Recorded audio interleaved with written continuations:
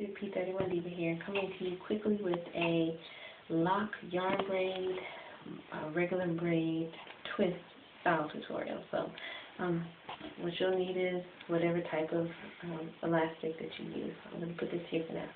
Alright, um, we're going to start off with a pompadour, bump, hump, whatever you like to call it. I'm going to section off this front, section it off this hair, and I'm just going to tuck to the side for a minute. And this here,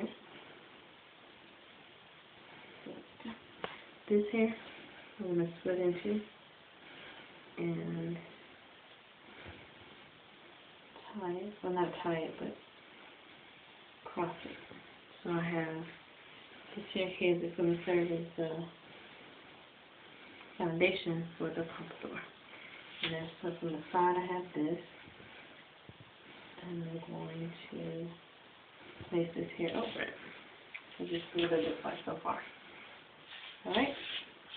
Now I parted uh, when I did these yarn braids I parted them in in um, rows. So now I'm going to grab actually you're supposed to go here. These two and I want to tie it like. And I'm going to grab these.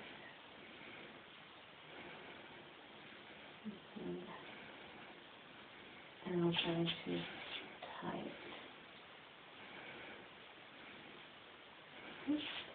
I'm going to repeat this process on both sides, grabbing here.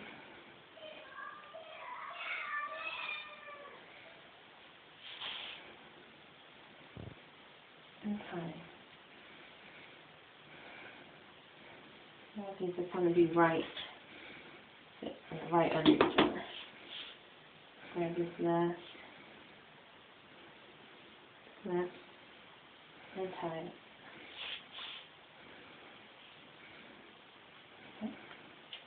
I want to start pulling from underneath. Now I'm grab two at a time. So one, two And tie, and you're going to repeat this probably about another three times.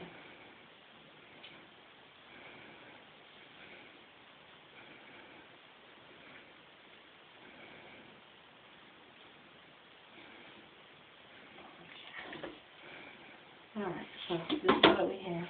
A series of ties, braids, locs, twists. Now, you could just put it in a ponytail like this and rock it. That's fine.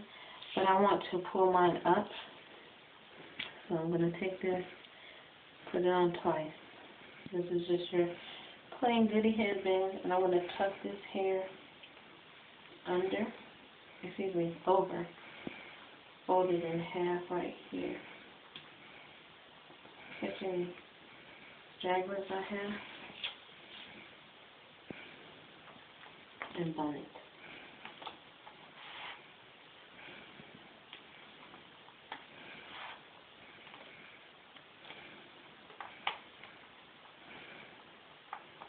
So it's high, and then you could take a hairnet if you wanted to, if you um, have locs and have any straggly ends. Otherwise, you can just kind of tuck.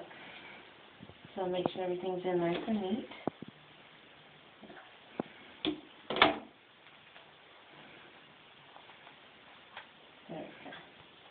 Okay, so this is the style I'll um, do, I'll try to do a 360.